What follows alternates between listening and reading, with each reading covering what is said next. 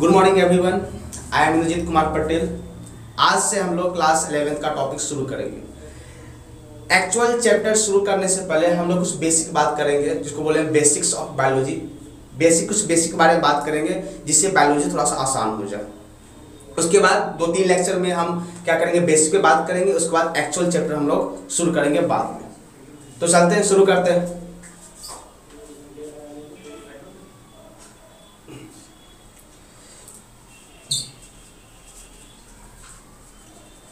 सबसे पहले समझते हैं कि नेचर क्या होता है। What is nature nature refer to the phenomena of the physical world and also to life in general देखो, वास्तव में है क्या कि पूरा यूनिवर्स पूरा यूनिवर्स क्या है? दो चीज़ बना है। मैटर से एंड एनर्जी से। मैटर से एंड एनर्जी से। पूरा यूनिवर्स में दो ही चीज़ें मैटर और एनर्जी मैटर, ये मैटर क्या होता है? पढ़े होगे बचपन में। वह कोई भी चीज़ एनीथिंग विच है mass and occupy space and their presence can be felt by our sense organ वह कोई भी चीज़ जिसके पास मास स्पेस ऑक्यूपाई करे और उसकी प्रेजेंस को हम महसूस करें। हम देख सके, हम समझ सके, वो चीज़ कहलाता है मैटर एनीथिंग विच है mass and occupy space and their presence can be felt our by our sense organ is called matter तो यूनिवर्स के अंदर दो चीज़ है matter and energy matter and energy का जो इंटरेक्शन है, वही क्या है? Nature nature refers to the phenomena एक घटना जिसमें फ़िज़िकल वर्ल्ड शामिल है। Also to life in general life शामिल है it range from it range in scale from subatomic to the cosmic level atomic level से, जैसे एटम्स मिलता है तो मॉलिक्यूल्स बनता है। मॉलिक्यूल से क्या हुआ? हमारा प्रोटोप्लाज्म बना। प्रोटोप्लाज्म से हमारा सेल बना। सेल से ऑर्गेनिज्म बना। ऑर्गेनिज्म से सॉरी सेल से ऑर्गेन सिस्टम बना। सॉरी सेल से ऑर्गेनिज्म बना। ऑर्गेनिज्म से ऑर्गेन सिस्टम बना, ऑर्गेन सिस्टम से एक ऑर्गेनिज्म बना। और ऑर्गेनिज्म से क्या बना? पॉपुलेशन बना, पॉपुलेशन। फिर उसे इकोसिस्टम, फिर फाइनली लास्ट में करते करते हमारा ग्रह, और उसके बाद पूरा पूरा जो यूनिवर्स है, उसका निर्माण होता है। तो कहने का मतलब क्या है कि यहाँ से लेकर एटॉमिक सब एटॉमिक लेवल से लेकर, इसके पहले भी कहानी है, सब एटॉमिक लेवल से कॉस्मिक लेवल ये भी किसके अंदर आता है? नेचर के अंदर। द टर्म नेचर में refer to the living plants इसमें आ जाएगा living plants and animals geological process के अंदर आ जाएगा वेदर आ जाएगा physics such matter and energy मतलब सिंपली बात करें तो मैटर एंड एनर्जी का इंटरेक्शन क्या है? हमारा नेचर है। इसको और फिल करते हैं आगे। पहले बात करते हैं कि कॉस्मोलॉजी क्या होता है। Study of origin evolution and topography of universe universe का ओरिजिन कैसे हुआ? यूनिवर्स में हमारा जो सोलर सिस्टम है, सबसे पहले मिल्की वे गैलेक्सी है, उसके अंदर हमारा सोलर सिस्टम है। तो हमारा सोलर सिस्टम का निर्माण कैसे हुआ? उस सोलर सिस्टम के अंदर हमारा ग्रह कैसे बना? ग्रह पे मतलब हमारा पृथ्वी कैसे बना? इस पृथ्वी पे जीवन कैसे है? इस सब का अध्ययन कहाँ करते हैं हम लोग? कॉस्मोलॉजी में करते हैं। कैसे? पहले हम, पढ़ेंगे आगे कि ओरिजिन ऑफ़ लाइफ कैसे हुआ? कैसे जीवन इस पृथ्वी पे जीवन कैसे आया? उसके बाद जो पहला जीवन आया, वो कैसे खुद को इवॉल्व किया? कैसे सिंपल ऑर्गेनिज्म कैसे कॉम्प्लेक्स जीवन कन्वर्ट हुआ वही पढ़ेंगे इस सबको एक साथ हम बोलते हैं cosmology cosmos and orderly complex of innumerable stars and planets scattered in space filled with gas.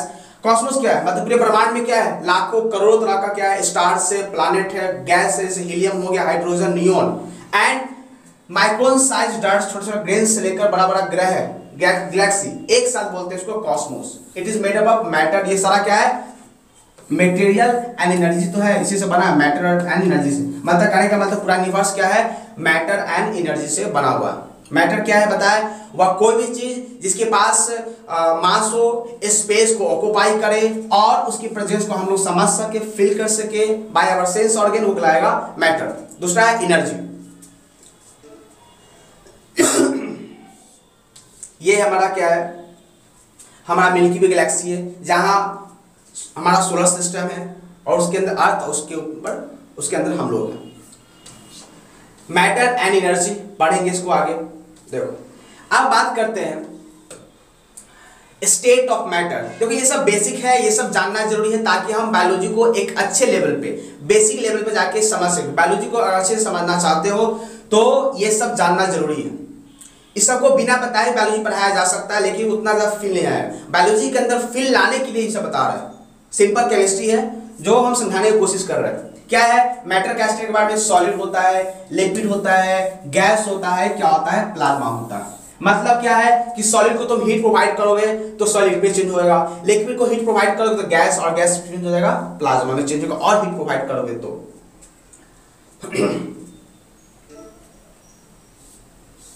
Matter and energy process tool. हम क्या बताया कि इस पृथ्वी पे या पूरे ग्रह में, पूरे यूनिवर्स में क्या है? मैटर और एनर्जी है। और यही एक दूसरे से इंटरेक्ट करता है तो बात आगे बढ़ती जैसे हम बात करें फोटोसिंथेसिस के दौरान फोटोसिंथेसिस के दौरान क्या करता है? प्लांट्स लाइट एनर्जी को या रेडिएंट एनर्जी को या सोलर एनर्जी को ट्रैप करता है। और उस सोलर एनर्जी को कन्वर्ट करता है केमिकल एनर्जी में। मतलब यहाँ पे एनर्जी का ट्रांसफॉर्मेशन हुआ। लाइट एनर्जी कहाँ चेंज हुआ? केमिकल एनर्जी में। कार्बन डाइऑक्साइड का रिडक्शन हुआ बनाता है ग्लूकोज। और वाटर कहाँ चेंज होता है? ऑक्सीजन में। कहने का मतलब क्या है कि फोटोसिंथेसिस के दौरान वास्तव में हो क्या रहा है? एनर्जी का एक्सचेंज हो रहा है। प्लांट क्या कर रहा है? सोलर एनर्जी को ले रहा है रेडिएंट एनर्जी को ले रहा है लाइट एनर्जी को ले रहा है और उसको किसमें चेंज कर रहा है? केमिकल एनर्जी में। और ये एनर्जी ग्लूकोज के बॉन्ड में स्टोर होता है। ग्लूकोज के अंदर स्टोर होता है। ग्लूकोज के अंदर शुगर के अंदर हाई एनर्जी इलेक्ट्रॉन होता है। और वो हाई एनर्जी इलेक्ट्रॉन कैसा है? सन के प्रेजेंस में जिस क्या होता है? कार्बन डाइऑक्साइड वाटर से कंबाइन किया और बनाया ग्लूकोज तो in the presence of solar energy in the presence of sunlight यहाँ जो क्या हुआ? कार्बन डाइऑक्साइड वाटर का जो मॉलिक्यूल्स है वो खुद को क्या करता है? अरेंज करता है और ग्लूकोज को बनाता है। और इस ग्लूकोज के अंदर जो इलेक्ट्रॉन होता है, वो क्या होता है? हाई एनर्जी इलेक्ट्रॉन होता है। और इसी हाई एनर्जी इलेक्ट्रॉन को क्या किया जाता है? ये इसी हाई एनर्जी इलेक्ट्रॉन को हम नीचे उतारते हैं ड्यूरिंग रिस्पाइडेशन रिस्पाइडेशन में यही हाई एनर्जी इलेक्ट्रॉन क्या होता है? हाई ऑर्बिटल और हायर ऑर्बिटल से लो ऑर्बिटल में आता है तो एनर्जी को रिलीज़ करता है, जिसका इस्तेमाल हमारा सेल हमारा शरीर करता है। आगे हम बताएँगे इसके इसके बारे में और बताएँगे। अभी बस समझ लो क्या है कि यहाँ पे फोटोसिंथेसिस के दौरान क्या होता है? लाइट एनर्जी केमिकल में चेंज होता है। फोटोसिंथेसिस एज पता हो तुम लोग फोटोसिंथेसिस एक ऐसा प्रोसेस है जिसमें एक प्लांट क्या करता है? सनलाइट के प्रेजेंस में कार्बन डाइऑक्साइड वाटर को इस्तेमाल करके क्या करता है? इन द क्लोरोफिल कंटेनेशियल ग्लूकोज का निर्माण करता। इसमें बेसिकली होता क्या है कि सन के अंदर जो स्टोर्ड एनर्जी है सन का जो एनर्जी है सोलर एनर्जी है, या बोले लाइट एनर्जी कन्वर्ट होता है हीट एनर्जी में या केमिकल एनर्जी में। Heat energy plus chemical energy में। देखो तो हम लोग तो जाने कि मैटर क्या होता है, वह कोई भी चीज़ जिसके पास क्या हो इस मतलब जिसके पास मास हो स्पेस को बाई करे उसके प्रेजेंस को हम लोग समझ सके फील कर सके वो मैटर था। अब बात करते हैं What is energy? Uh, energy provide the force to hold matter together matter के अंदर जो पार्टिकल्स है पार्टिकल एक दूसरे से जुड़ा हुआ है। सॉलिड के अंदर पार्टिकल सबसे करीब होता है लिक्विड थोड़ा सा दूर दूर होता है गैस में काफ़ी दूर होता है। तो मैटर के अंदर जो पार्टिकल एक दूसरे से होल्ड है एक मॉलिक्यूल्स के अंदर जो एटम एक दूसरे को होल्ड किया हुआ है ओनली ड्यू टू एनर्जी। तो ये इस, इसी एनर्जी की वजह से मतलब एनर्जी क्या है? एक फोर्स ऑफ़ अट्रैक्शन या फोर्स है जो मॉलिक्यूल्स के अंदर एटम को बाँध के रखे हुआ है। इसी को हम लोग केमिस्ट्री के भाषा में कहते हैं बॉन्ड बॉन्ड क्या है? बॉन्ड एक ऐसा फोर्स ऑफ़ अट्रैक्शन है जो मॉलिक्यूल्स के अंदर एटम को बाँध के रखा आगे बात करते हैं इसके बारे में। तो energy provide the force energy क्या करता है? फोर्स प्रोवाइड करता है to hold matter together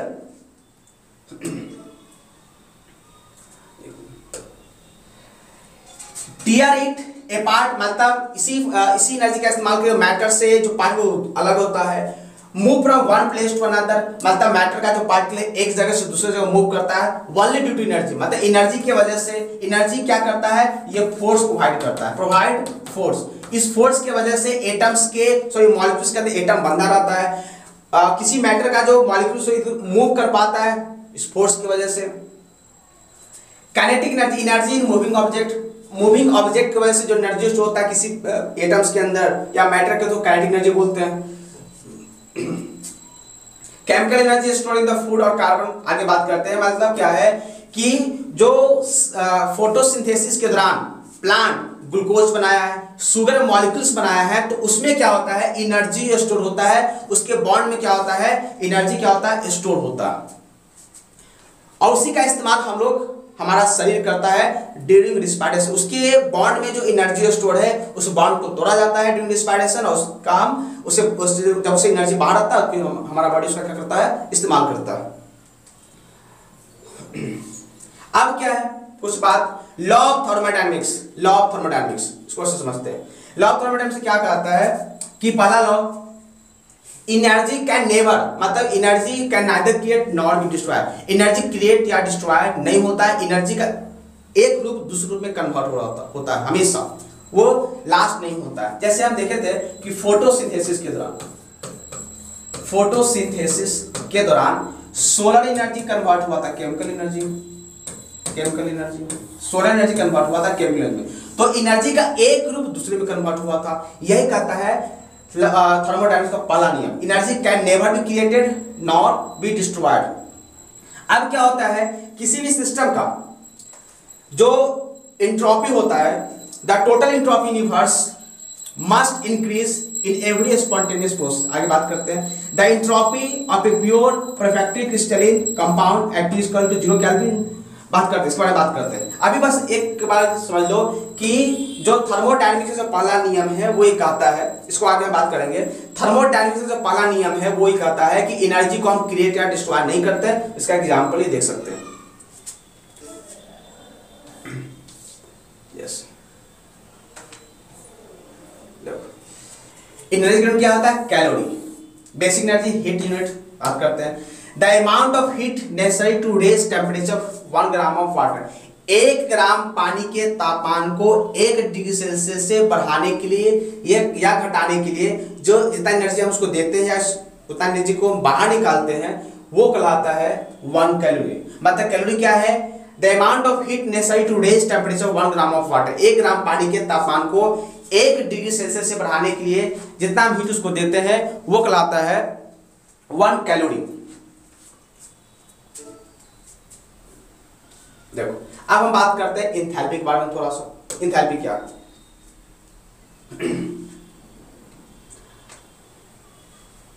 देखो, एक सिस्टम में जितना टोटल हीट प्रेजेंट होता है, उसको बोलते हैं enthalpy entropy is denoted by इसको एस से डिनोट करते हैं.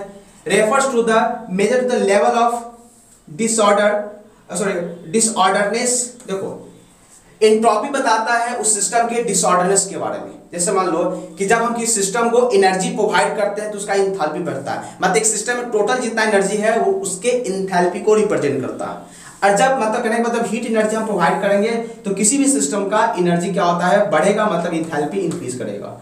जब किसी सिस्टम से एनर्जी को हम बाहर निकालते हैं तो इंथैल्पी डिक्रीज करेगा। देखो एंट्रोपी का मतलब होता है सीधा रैंडमनेस रैंडमनेस डिसऑर्डरनेस जिस सिस्टम में जितना डिसऑर्डरनेस होगा मतलब तो बोलेंगे, वो सिस्टम उस सिस्टम में उतना ज़्यादा इंट्रोपी है।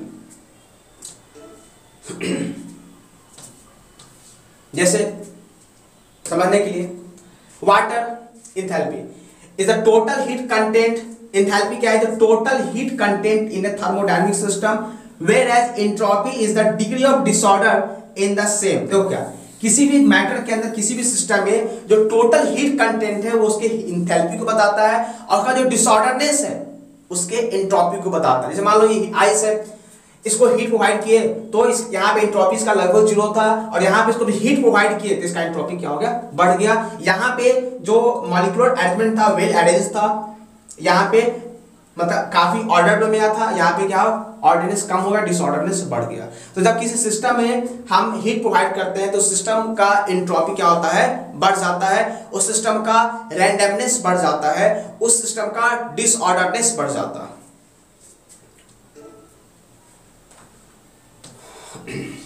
यस इंट्रोपी क्या रैंडमनेस और डिसऑर्डर इन सिस्टम जैसे मान लो, यहाँ पे क्या है? ये सॉलिड है। ये क्या है इसका एंट्रोपी लगभग ज़ीरो है लिक्विड है और गैस है। तो जैसे हम सी प्रोवाइड करते हैं, देखो यहाँ पे क्या डिसऑर्डरनेस बढ़ रहा है मतलब इसका इंट्रोपी बढ़ रहा है। इंट्रोपी मतलब रैंडमनेस या डिसऑर्डरनेस सिस्टम जो सिस्टम जितना डिसऑर्डर होगा, बोलेंगे उसकी उसका इंट्रोपी उतना ज़्यादा होगा। देखो, एक बात करते हैं। देखो इक्विलिब्रियम पूरे जीवन भर हमारा बॉडी यही कोशिश करता है कि ये बॉडी ये पूरा का पूरा बॉडी इक्विलिब्रियम में ना चला जाए। पूरे जीवन भर हमारा शरीर यही कोशिश करता है कि हम इक्विलिब्रियम में न चले जाए। जैसे ही हमारा बॉडी इक्विलिब्रियम पहुंचेगा, हमारा डेथ हो जाएगा। हम फाइनली क्या हो जाएँगे? डेथ हो जाएगा। हमारा डेथ हो जाएगा। तो पूरे जीवन भर हमारा शरीर क्या करता है? बॉडी को, हमारा शरीर क्या करता है? बॉडी को इक्विलिब्रियम में नहीं जाने देता। यही जीवन है। देखो इक्विलिब्रियम स्टेट ऑफ़ डेथ जैसे ही कोई लिविंग ऑर्गेनिज्म का बॉडी, किसी का बॉडी इक्विलिब्रियम की अवस्था पे जाता है तो क्या होता है? मान लो कि वो मर चुका है। वाली चेवस प्रोड्यूस लाइफ मतलब जीवन में क्या है? कहने का मतलब क्या है? कि हलचल है। जीवन में हलचल तो बोलेंगे क्या? किसी लिविंग थिंग्स के अंदर हलचल दिखाई पड़ रहा है मतलब बोलेंगे वो जीवित है। मतलब सीधा थोड़ा बात करें कि हमारा बॉडी पूरे जीवन यही कोशिश करता है कि जो सिस्टम है इक्विलिब्रियम में शिफ्ट ना हो जाए। इक्विलिब्रियम क्या वहाँ पे जहाँ पे नेट परिवर्तन ज़ीरो होता है। जहाँ पे परिवर्तन ज़ीरो है सब कुछ इक्वल है वहाँ पे जीवन कैसे हो सकता है? जीवन होगा ही नहीं।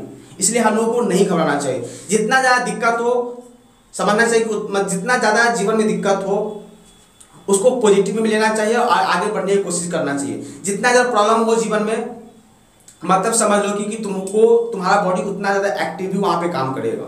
इसलिए घबराना नहीं है। ये सिस्टम ही कहता है कि जैसे इक्विलिब्रियम में सब कुछ तुमको या हम लोग को मिल जाएगा तो फिर मेहनत किसका? मेहनत काय करेंगे? आराम से बैठे रहेंगे इक्विलिब्रियम रहेंगे तो फिर जीवन का मज़ा क्या है? जीवन का मज़ा इसमें है कि हम कैसे मतलब चुनौती का सामना करते हैं, फिर कैसे आगे बढ़ते यही जीवन और यहाँ भी यही कहा जा रहा है कि अगर सब कुछ इक्वल हो जाए, हमारा सिस्टम इक्विलिब्रियम में चला जाए तो क्या हो जाएगा? हमारा डेथ हो जाएगा। बात करते हैं फिर इसके बारे में डिटेल में आगे। जैसे देखो एग्ज़ाम्पल के लिए बात करते हैं। एक बेबी है, उसके हम डायसिस को बाहर निकाले देख रहे हैं कुछ ऐसा। इसमें से मैं स्टमक को बाहर निकाल रहा इस स्टमक में हम एक टिश्यू को बाहर निकाले स्मूथ मसल टिश्यू को। इस स्मूथ मसल टिश्यू में एक सेल को बाहर निकाले। और सेल का जब अध्ययन किए तो देखा कि इसमें, इसके अंदर क्या होगा? डीएनए होगा आरएनए होगा कार्बोहाइड्रेट होगा प्रोटीन होगा फैट होगा, और उसको और फर्दर बांटे तो एटम्स के लेवल पे। मतलब क्या है कि सब कुछ क्या है? एटम से ही बना हुआ है। मतलब क्या है कि अगर हम चीज़ों को समझना चाहते हैं, खासकर बायोलॉजी में तो हम लोग को मॉलिक्यूल के स्तर पे जाना ज़रूरी है। अच्छे से समझने के लिए हर चीज़ को हम लोग मॉलिक्यूल के स्तर पर जाके समझने की कोशिश करें तो बेहतर अंडरस्टैंडिंग होगा उसको जो हम लोग करेंगे। देखो। मतलब कैसे? एटम से मॉलिक्यूल बनता है। मॉलिक्यूल से क्या बनता है? एक सेल बनेगा। सेल से टिश्यू बनता है। टिश्यू से ऑर्गेन बनता है। ऑर्गेन से ऑर्गेन सिस्टम फिर एक ऑर्गेनिज्म बनता। है यही जीवन।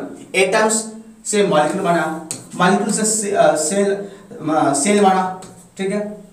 सेल के अंदर बहुत सारा सेल ऑर्गेन होता है। जैसे ईआर हो गया, राइबोसोम लाइसोसोम ये सब होता है। सेल से टिश्यू बनता है। टिश्यू से ऑर्गेन ऑर्गेन से ऑर्गेन सिस्टम, फिर ऑर्गेनिज्म। देखो मॉलिक्यूल्स आर मेड अप जैसे सेल के अंदर मॉलिक्यूल प्रेजेंट होता है किसी बना? कार्बन होगा। जैसे कि carbon hydrogen nitrogen sulphur these non living things combine to form protoplasm मतलब सेल के मतलब अच्छे समझने की कोशिश करें तो एटम क्या होता है? एटम्स कंबाइन करता है तो बनता है मॉलिक्यूल्स बनता है simple inorganic molecules simple inorganic molecule convert होता है। सिंपल ऑर्गेनिक मॉलिक्यूल्स में। सिंपल ऑर्गेनिक मॉलिक्यूल्स कन्वर्ट होता है कॉम्प्लेक्स ऑर्गेनिक मॉलिक्यूल्स में, और इससे हमारा क्या बनता है? प्रोटोप्लाज्म प्रोटोप्लाज्म से क्या हुआ? हमारा सेल बनता है। सेल से हमारा टिश्यू बना। टिश्यू से ऑर्गेन ऑर्गेन से ऑर्गेन सिस्टम फाइनली क्या होता है? ऑर्गेनिज्म का डेवलपमेंट हो जाता है। इस सब, इस सारी चीज़ को हम लोग आगे डिटेल में पढ़ेंगे। अभी समझ लो कि कैसे एक ऑर्गेनिज्म कैसे डेवलप होता है। सब एटॉमिक लेवल से ऑर्गेनिज्म कैसे डेवलप होता है, वो समझने की हम कोशिश कर रहे हैं।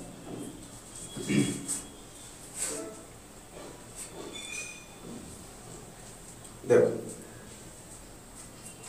फोटोसिंथेसिस बात कर चुके हैं कि फोटोसिंथेसिस एक ऐसा बायोलॉजिकल प्रोसेस है जिसमें प्लांट क्या करता है?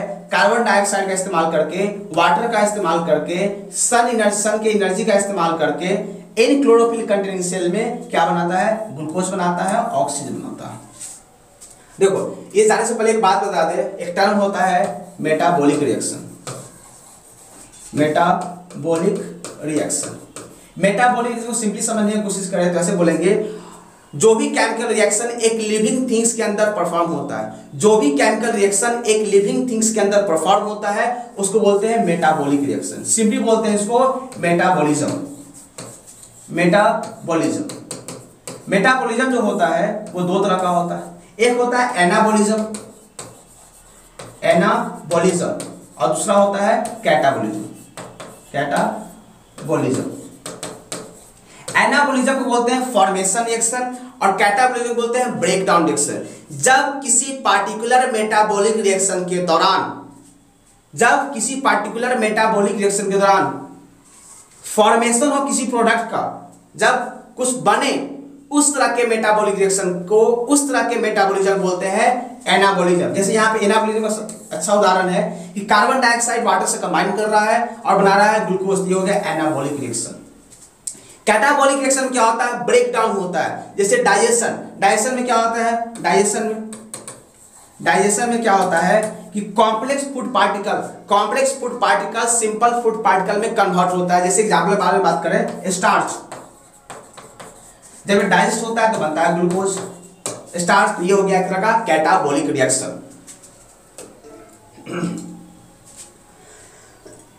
तो यहाँ पे समझाने की कोशिश किया गया है कि फोटोसिंथेसिस के दौरान क्या हो रहा है? कार्बन डाइऑक्साइड ग्लूकोज में चेंज हो रहा है। रिस्पायरेशन में ये जो ग्लूकोज है इस ग्लूकोज के बॉन्ड में जो एनर्जी है, इस ग्लूकोज के अंदर जो इलेक्ट्रॉन है, इसके पास हाई एनर्जी इलेक्ट्रॉन होता है। उसी हाई एनर्जी इलेक्ट्रॉन को हम ड्यूरिंग रिस्पायरेशन उस हाई एनर्जी इलेक्ट्रॉन को बाहर निकालते हैं और उसके दौरान जो एनर्जी बाहर निकलता है, उस एनर्जी का इस्तेमाल करता है हमारा बॉडी उससे हमारा बॉडी एटीपी बनाता है। इस बात को आगे हम एक्सप्लेन करेंगे उसे। जैसे बेसिक बचपन में पढ़े हो कि क्या होता है, जो मैटर होता है मैटर ये एटम से बना होता है। एटम के अंदर तीन सब एटॉमिक पार्टिकल होता है इलेक्ट्रॉन होता है प्रोटॉन होता है एंड न्यूट्रॉन होता है। सेंटर में क्या होता है? प्रोटॉन प्लस न्यूट्रॉन होता है। ये न्यूक्लियस का निर्माण करता है और इलेक्ट्रॉन चारों तरफ़ से रिवॉल्व करता, करता रहता है। ये बेसिक बात। आगे चलते हैं। देखो। Louis de Broglie de Broglie लिखा है डी ब्रोए पढ़ते हैं। इनके अनुसार इलेक्ट्रॉन के पास, ये सब पढ़ो केमिस्ट्री में, इलेक्ट्रॉन के पास वेव नेचर होता है। इलेक्ट्रॉन क्या होता है? एक तरह का वेव होता है और उस वेव का जो वेवलेंथ होता है lambda equal to H by M बस इतना, इसको बोलते हैं Planck's constant 6.636 into 10 to the power minus 34 joule second होता। तो ये सब केमिस्ट्री पढ़ेंगे बस यहाँ ये बताने की कोशिश करें कि इलेक्ट्रॉन के पास कैसा नेचर होता है। इलेक्ट्रॉन के पास वेव नेचर भी अभी समझने की कोशिश करते हैं कि कि बॉन्ड्स क्या होता है? टाइप ऑफ़ केमिकल बॉन्ड्स तो वो जानने से पहले समझते हैं कि बॉन्ड्स होता क्या है। नाम सुना होगा आयनिक बॉन्ड कोवेलेंट बॉन्ड तो जान लेते हैं कि बॉन्ड होता क्या है। बॉन्ड देखो मॉलिक्यूल्स के अंदर जो एटम है मॉलिक्यूल्स के अंदर जो एटम है, वो एक दूसरे से क्या होता है? मतलब जुड़ा हुआ रहता है। ऐसे ऐसे बात करेंगे कि बॉन्ड एक ऐसा फोर्स ऑफ़ अट्रैक्शन है बॉन्ड एक ऐसा फोर्स ऑफ़ एट्रैक्शन है जो मॉलिक्यूल्स के अंदर, कंपाउंड के अंदर एटम को होल्ड करके रखता है। उसी को बोलते हैं बॉन्ड। बॉन्ड एक तरह का एट्रैक्टिव फोर्स है जो मॉलिक्यूल्स के अंदर एटम्स को बाँध करके रखता है। ये था सिंपली बॉन्ड के बारे में। अब हम बॉन्ड के टाइप के बारे में बात करते हैं कि व्हाट इज़ कोवेलेंट बॉन्ड और व्हाट इज़ आयनिक बॉन्ड ये जानने से पहले कुछ बात बताना पड़ेगा कि एटॉमिक नंबर क्या होता है। एटॉमिक नंबर बेसिक बात करना होगा एटॉमिक नंबर क्या होता है? एटॉमिक नंबर का मतलब होता है, जैसे मान लो किसी का नंबर फाइव है फोर है सिक्स है सेवन कुछ भी है। जैसे मान लो इलेवन लेते हैं। इलेवन एटॉमिक नंबर होता है सोडियम का। तो सोडियम का एटॉमिक नंबर ग्यारह है, इसका क्या मतलब है? इसका यह मतलब है कि सोडियम के पास सोडियम के पास नंबर ऑफ़ प्रोटॉन वो होगा ग्यारह। नंबर ऑफ़ प्रोटॉन कितना होगा सोडियम के पास? ग्यारह होगा। मतलब किसी का एटॉमिक नंबर जो भी हो, वो उसके प्रोटॉन के बारे में बात करता है। Number of proton represents its atomic number ये सोडियम के एटॉमिक नंबर ग्यारह है, इसका मतलब क्या है कि नंबर ऑफ़ प्रोटॉन के पास कितना है? ग्यारह। जैसे मान लो क्लोरीन ले लेते हैं। क्लोरीन इसका एटॉमिक नंबर सत्रह है। मतलब क्या है कि इसका इसका जो, इसके पास जो नंबर ऑफ़ प्रोटॉन है, वो है सेवेंटी देखो, फिर बात करते हैं। जैसे सोडियम के पास नंबर ऑफ़ प्रोटॉन कितना है? ग्यारह। प्रोटॉन पे क्या चार्ज होता है? Positive charge. तो एक न्यूट्रल एटम के पास जितना प्रोटॉन होता है, उतना ही इलेक्ट्रॉन होता है। तो नंबर ऑफ़ इलेक्ट्रॉन कितना हो? जाएगा ग्यारह। इस पर क्या चार्ज होता है? Minus charge negative charge. तो चार्ज ज़ीरो हो गया। लेकिन जब ये रिएक्शन करने जाएगा तो बात ऐसा ही रहेगा। देखो सोडियम का तुम लोग इलेक्ट्रॉनिक कन्फिग्रेशन पढ़ा होगा। One S two two S two two P six, three S one. मतलब फ़र्स्ट ऑर्डर में दो इलेक्ट्रॉन, सेकेंड में आठ और लास्ट में वन। देखो, किसी भी एटम के आउटर मोस्ट ऑर्बिट में या आउटर मोस्ट ऑर्बिटल में, ऑर्बिट में जितना इलेक्ट्रॉन होता है, वो कहलाता है उसका वैलेंस इलेक्ट्रॉन। वैलेंस इलेक्ट्रॉन मतलब आउटर मोस्ट ऑर्बिट में जितना इलेक्ट्रॉन होगा किसी भी एटम के, वो उसका वैलेंस इलेक्ट्रॉन कहलाएगा। अब क्या है? याद रखना कि दुनिया का जितना भी एलिमेंट है, कुछ अपवाद को छोड़ दे छोड़ दे, जो तुम लोग पढ़ो कैपिटल बॉन्डिंग में सो छोड़ दे तो दुनिया का हर एक एलिमेंट चाहता है कि उसके अंतिम ऑर्बिटर में कितना इलेक्ट्रॉन पूरा हो? आठ इलेक्ट्रॉन पूरा हो। और जैसे ही उसके अंतिम ऑर्बिटर में आठ इलेक्ट्रॉन पूरा होगा, वो एटम स्टेबल हो जाता। है वो क्या हो जाता है? स्टेबल हो जाता। है ठीक। अब क्या है? जैसे मान लो यहाँ पे सोडियम के पास कितना है? दो, आठ, एक first orbit second and third orbit last orbit में कितना इलेक्ट्रॉन है? एक ऑर्बिट सॉरी एक इलेक्ट्रॉन है। अब लास्ट ऑर्बिट में चाहेगा आठ इलेक्ट्रॉन पूरा करना। तो आठ पूरा करने का दो तरीका है। या तो कोई इसको सात इलेक्ट्रॉन दे दे, या एक इलेक्ट्रॉन किसी को दे दे। दोनों कंडीशन में इसका ऑक्टेट पूरा हो जाएगा। तो यहाँ पे एक इलेक्ट्रॉन देना ज़्यादा आसान होगा। तो क्या होता है? एक इलेक्ट्रॉन दे देगा जब दो इलेक्ट्रॉन दे देगा तो पहला ऑर्बिट और इसका, ये दूसरा ऑर्बिट ही लास्ट ऑर्बिट हो जाएगा, दो आठ हो जाएगा। ठीक है? अब ये स्टेबल हो जाएगा। अब इस घटना के बाद हम फिर से यहाँ लिखते हैं सोडियम के पास। सोडियम के पास नंबर ऑफ़ प्रोटॉन कितना हो जाएगा? अभी नंबर ऑफ़ प्रोटॉन कितना होगा? ग्यारह ही होगा। लेकिन इलेक्ट्रॉन कितना हो जाएगा? एक इलेक्ट्रॉन दे दिया तो हो जाएगा दस निगेटिव चार्ज प्लस वन तो जब सोडियम एक इलेक्ट्रॉन किसी को देगा तो उसमें क्या होगा? एक प्लस चार्ज आएगा। प्लस चार्ज क्यों आता है समझ में आया? क्यों? क्योंकि एक इलेक्ट्रॉन दिया। एक इलेक्ट्रॉन देने के बाद इसमें प्लस चार्ज आया। ठीक है। जिस प्रकार ये पहचान था, ठीक उसी प्रकार क्लोरीन भी बेचैन होगा। क्लोरीन क्या करेगा? जैसे मान लो क्लोरीन लेते हैं क्लोरीन इसका क्या होगा? टू एट सेवन ये भी क्या करेगा? आठ इलेक्ट्रॉन पूरा करना चाहेगा। तो क्या है? ये first orbit second orbit and third orbit तो आठ इलेक्ट्रॉन पूरा करने के लिए इसको चाहिए एक इलेक्ट्रॉन एक इलेक्ट्रॉन कहीं से आएगा। जब एक इलेक्ट्रॉन आएगा तो हो जाएगा two eight eight after this phenomena number of proton chlorine के पास कितना होगा? सेवेंटीन होगा। लेकिन इलेक्ट्रॉन कितना हो जाएगा? एटीन हो जाएगा। मतलब माइनस वन चार्ज एक इलेक्ट्रॉन लिया, इस पे आ गया माइनस चार्ज ठीक है। अब ये फिर से समझने की कोशिश करते हैं, क्या हुआ था? देखो, सोडियम के पे कैसा चार्ज आया था? प्लस चार्ज क्योंकि एक इलेक्ट्रॉन दिया था। क्लोरीन पे कैसा चार्ज आया? माइनस जो इलेक्ट्रॉन जो सोडियम दे रहा था, वास्तव में इसी को दे रहा था। और जो इलेक्ट्रॉन क्लोरीन लिया था, वो इसी से लिया था। इससे। मतलब यहाँ पर सोडियम क्या है? एक इलेक्ट्रॉन इसको कंप्लीटली दे दिया। जिसके जिसके वजह से पॉजिटिव चार्ज आ गया और पर निगेटिव चार्ज तो दो चार्ज यहाँ पे डेवलप हुआ, जिसके बीच में इलेक्ट्रोस्टैटिक फोर्स ऑफ़ अट्रैक्शन काम करेगा, और यही फोर्स ऑफ़ अट्रैक्शन की वजह से दोनों करीब आ जाएगा, और एक बॉन्ड का निर्माण होगा जिसका नाम है आयनिक बॉन्ड तब अब क्या है कि आयनिक बॉन्ड को डिफाइन करें तो बोलेंगे, जब इलेक्ट्रॉन के इलेक्ट्रॉन के कंप्लीट ट्रांसफ़र के वजह से इलेक्ट्रॉन के कंप्लीट ट्रांसफ़र के वजह से दो एटम के बीच में जो बॉन्ड का निर्माण होता है, उस बॉन्ड को बोलते हैं आयनिक बॉन्ड और एक स्ट्रॉन्ग बॉन्ड होता है। जब इलेक्ट्रॉन के कंप्लीट ट्रांसफ़र के वजह से दो एटम के बीच में जो बॉन्ड बनेगा, उसको बोलेंगे आयनिक बॉन्ड तो आयनिक बॉन्ड क्लियर है? चलो, अब बात करते हैं हम लोग कोवलेंट बॉन्ड के ऊपर कोवलेंट बॉन्ड जैसे हम एग्जांपल लेते हैं। एससीएल का। एससीएल का एग्ज़ाम्पल लेते हैं। एस चाहे सी एस फोर का एग्ज़ाम्पल लेते हैं। देखो क्या यहाँ पे इलेक्ट्रॉन का कंप्लीट ट्रांसफ़र नहीं होता। देखो हाइड्रोजन का इलेक्ट्रॉन डॉट स्टेट कुछ ऐसा होगा। क्लोरीन का ऐसा होगा। दो, चार, दो, छह, एक, सात, ऐसा होगा। अब क्या है कि हाइड्रोजन ड्यूप्लेट पूरा करना चाहता है। जैसे हाइड्रोजन के पास डबल इलेक्ट्रॉन हो जाता है वो स्टेबल हो जाता है, अब क्लोरीन के चाहिए आठ इलेक्ट्रॉन अब दिक्कत यह है कि इलेक्ट्रॉन इसको दे नहीं सकता है। जैसे इलेक्ट्रॉन ये देगा तो इसका जो अपना पहचान था हाइड्रोजन वीक हो जाएगा, अभी तो प्रोटॉन हो जाएगा इलेक्ट्रॉन देना नहीं चाहेगा। और क्लोरीन को चाहिए इलेक्ट्रॉन तो ये क्या करता है? यहाँ पे शेयर कर लेता है। ये रिस्क लेता है और यहाँ पे इस तरह से बॉन्ड बना लेता है। तो वैसा बॉन्ड जो इलेक्ट्रॉन के शेयरिंग के वजह से बना हो, दो एटम के बीच में जब इलेक्ट्रॉन के शेयरिंग के वजह से बॉन्ड का निर्माण होता है, इस तरीके के बॉन्ड को बोलते हैं कोवेलेंट बॉन्ड के बारे में बात कर रहे थे कि बॉन्ड दो तरह का होता है कोवेलेंट बॉन्ड होता है एनिक बॉन्ड होता है।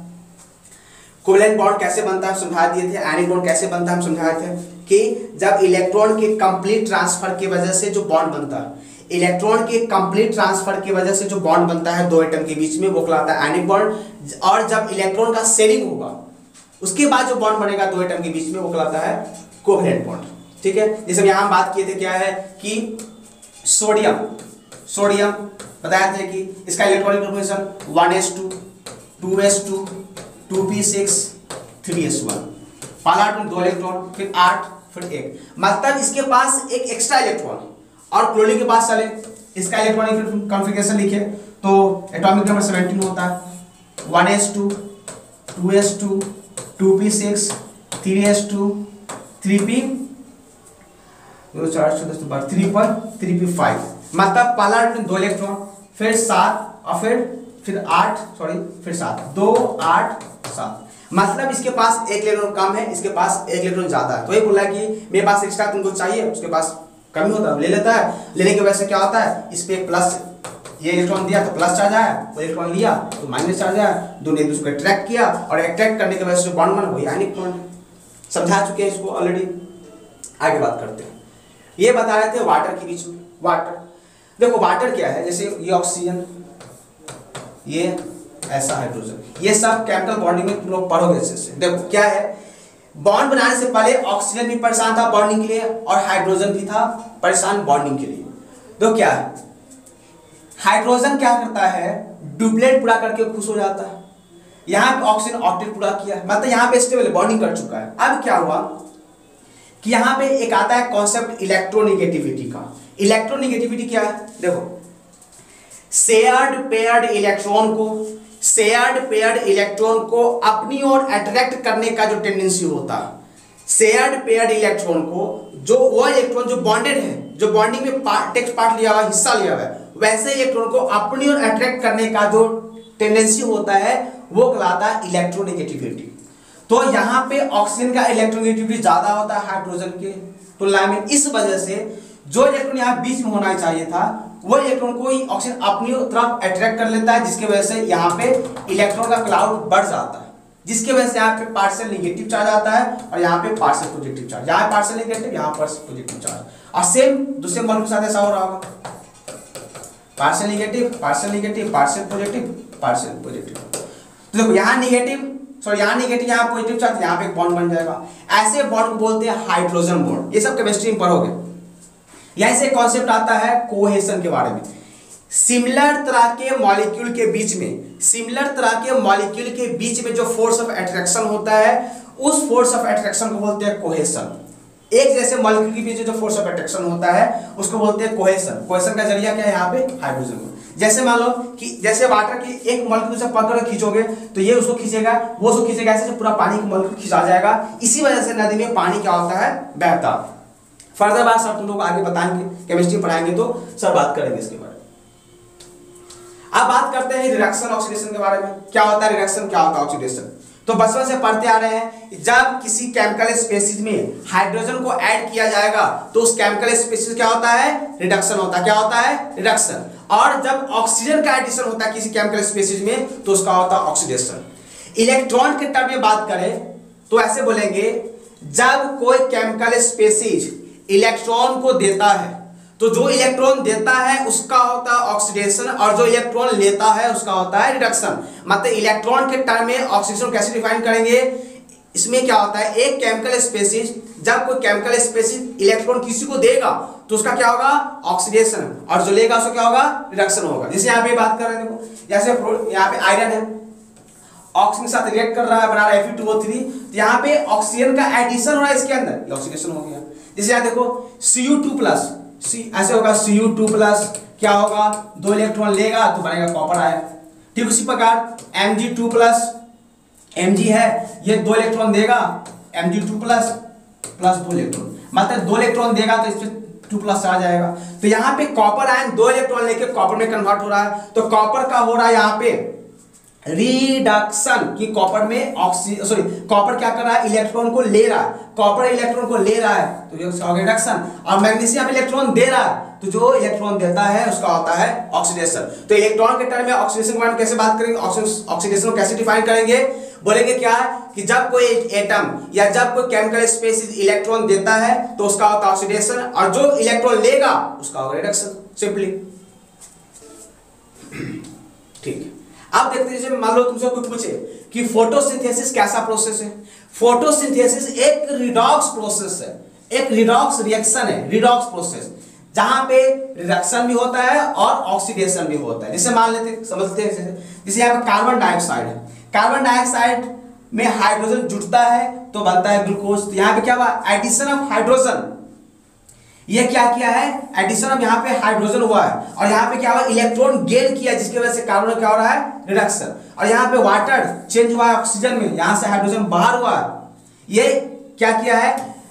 ऑक्सीजन को डोनेट किया है लूज किया है। इसकी वजह से यहाँ पे हो रहा है हाइड्रोजन वाटर का हो रहा ऑक्सीडेशन और कार्बन का हो रहा है रिडक्शन मतलब फोटोसिंथेसिस में कार्बन डाइऑक्साइड का होता है रिडक्शन और वाटर का होता है ऑक्सीडेशन मतलब रिडक्शन भी हो रहा है और ऑक्सीडेशन भी हो रहा है। इस वजह से फोटोसिंथेसिस एक रिडॉक्स प्रोसेस है। लेकिन ऑप्शन में अलग अलग आता है। लो रिडक्शन आया, अलग है ऑक्सीडेशन है रिडॉक्स नहीं है तो बेस्ट ऑप्शन होगा रिडॉक्स क्योंकि हमको मेन प्रोडक्ट से मतलब है। फोटोसिंथेसिस का मेन प्रोडक्ट मेन प्रोडक्ट क्या है? ग्लूकोज और ग्लूकोज कैसे बन रहा है? कार्बन डाइऑक्साइड के रिडक्शन का परिणाम है। इसलिए अगर ऑप्शन में ऐसा नहीं रॉक्स नहीं दिया हो तो reduction is the best option ये था फोटोसिंथेसिस के बारे में फोटोसिंथेसिस क्यों हम बोलते हैं रिडॉक्स रिएक्शन ठीक है, यहाँ से हम लोग अगले क्लास में बात करेंगे। देखो बायोलॉजी को बेहतर समझने के लिए, बेहतर समझ होने के लिए हम थोड़ा सा कंफर्ट जोन से बाहर निकल के समझाने की कोशिश कर रहे हैं, क्योंकि ज़रूरी है। अगर बेसिस बेसिक जो क्लियर नहीं हुआ तुम्हारा तो बायोलॉजी पहले नहीं पड़ेगा। बायोलॉजी को तुम फील नहीं कर पाओगे। ये सब दिमाग में रहेगा तो बायोलॉजी को बेहतर समझ पाओगे। बायोलॉजी में हर एक चीज़ को हम लोग मॉलिक्यूल के स्तर पर जाने की, समझने की कोशिश करेंगे। ये सब दिमाग में होगा तो समझाने में आसानी होगा, तुम लोग को समझ समझ तुम लोग का समझ ही बेहतर होगा। एनसीआरटी लाइन लाइन क्लियर करने के लिए डेप्थ में नॉलेज होना ज़रूरी है। हर एक हर एक चीज़ को हम लोग, खासकर बायोलॉजी के अंदर मॉलिक्यूल के स्तर पे जाके समझना ही पड़ेगा, तभी तुम्हारा अंडरस्टैंडिंग बेहतर होगा, चीज़ों को फील कर पाओगे, नहीं तो कुछ नहीं, सब ऊपर से रटना पड़ जाएगा। इसलिए हम थोड़ा सा कंफर्ट जो से बाहर निकल के हम पहले बेसिक क्लियर कर रहे हैं। उसके बाद क्या है? एक दो लेक्चर दो या तीन लेक्चर लग सकता है बेसिक क्लियर करने में। उसके बाद हम लोग नेक्स्ट चैप्टर जो भी वो शुरू करेंगे। ठीक है?